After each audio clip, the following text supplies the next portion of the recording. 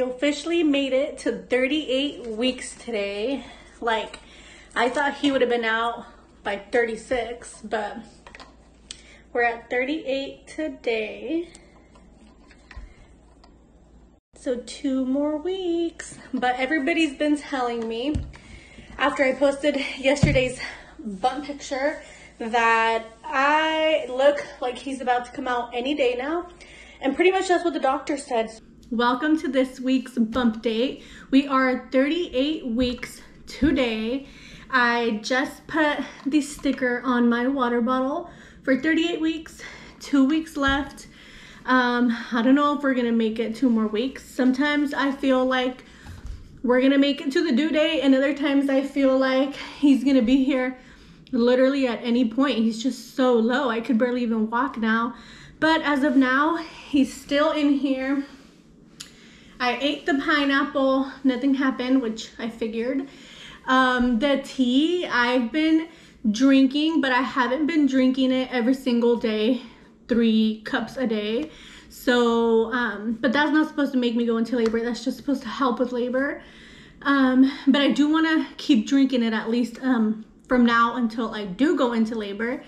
Um, what else? I haven't been doing much walking. I do have my 38 week appointment tomorrow at the doctor's and she is gonna check for the first time for any dilation. I'm hoping she says I'm like out of five. and then I have to head to labor and delivery, which I know she's not gonna say. But I'm excited to find out if I'm dilated at all or, you know, I'm excited to see what she has to say. But that's where we're at, 38 weeks today. Also, I have officially finished packing my hospital bags. This is my diaper bag that has the baby stings in there. This is a backpack for me. It has um, some of my things in there. And then this is like the bigger luggage um, that has more things for me and my boyfriend. I'm putting it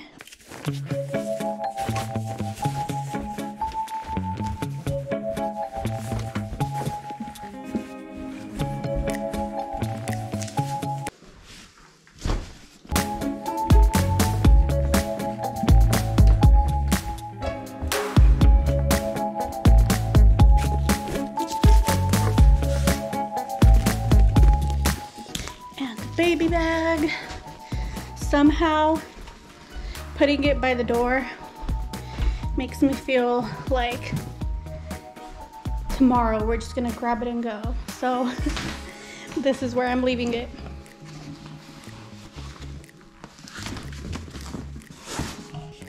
Car seat, baby bag, my bag, both of our bag, a blanket, and I think we're set. My boyfriend's cousin came over like two days ago and she brought me this gift some onesies, six to nine months, which is good because I don't need any little clothes anymore. She got me a big old pack of diapers. She swears I need them. And then she gave me um, baby detergent, which is good because this is actually the brand I'm using. So I thought that was nice of her. Didn't expect the gift. And then my best friend sent me this really cool sign for the car. Mijo on board. How cute is this? And it's actually a sticker. It's not like a like one of those window signs that you can take on and off. It's a sticker. It's from Fuchila Refresheners.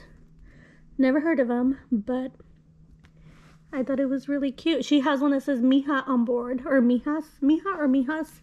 And then she sent me Mijo on board, so that was so cute.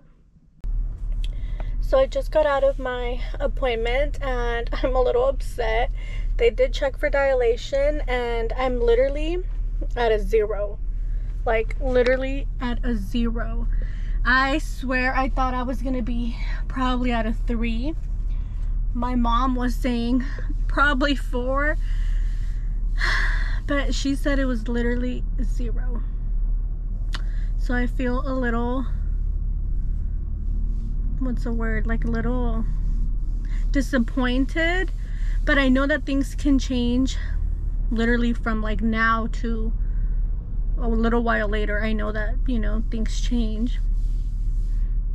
But I'm just upset to hear zero hey guys so it is Saturday today and I am 38 plus three days no difference yet. I have been feeling you know some more cramping here and there but nothing major. Taking out the trash. Nothing major so I don't know. We're still just waiting to see if anything changes but nothing nothing so far um, I have been drinking the tea I've been drinking three cups I'm gonna up it to four cups a day I did have some more time to think after I got out of the doctor appointment where I was upset or disappointed with um, not being dilated. But I had some more time to like relax and, you know, think things through. And at the end of the day, it doesn't matter if you're dilated or not because regardless, you're gonna get there. You're gonna have to dilate, dilate one way or another. And also, another way that I'm thinking of it is like technically till my actual due date, which is February 2nd, um, it's still 10 more days. So I don't know why in my head I've been trying to have him since like 36 weeks. Probably because the doctor, at that doctor appointment, the doctor told me, oh, any day now. So in my head, I'm like, oh my God, like literally any day now. But in reality, my due date is still 10 days away for February 2nd. So if he's here from any time from today on out, I mean, it, it's good. But if he decides to wait on his due date, then that's fine too, because that's his due date, you know? So I think it was just me very anxious to get him out and meet him, which I still am, but I'm more relaxed about it. But like I said, I am continuing to drink the raspberry leaf tea. Um, again, it's not supposed to put you into labor, it's just supposed to help uh, like prep your body for labor. So I'm still gonna drink that. Um, I am doing some more walking and I tried getting that yoga ball, but I couldn't find it in the stores I've been to so far. So, so far I'm just doing more walking and that's what I'm gonna continue doing. The doctor did recommend to do like um, hip widening exercises like the butterfly pose and hold it for like a couple minutes um, I don't know, I'm gonna YouTube different hip opening exercises. But pretty much that's the update. Nothing really has changed, so.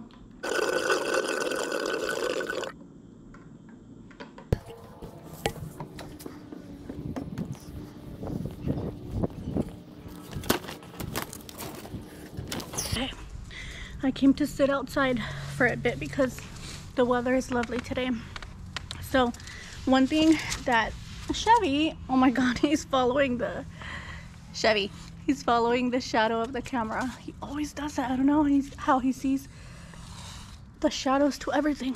Anyway, um, so something I spoke about in my Instagram stories this morning as I was rewatching all of my YouTube videos from the telling our parents we're pregnant, the gender reveal, um, buying the first things for the baby, and then yesterday I uploaded the like starting the nursery video. So something I told something I would recommend, especially if you are a first time mom, is record everything.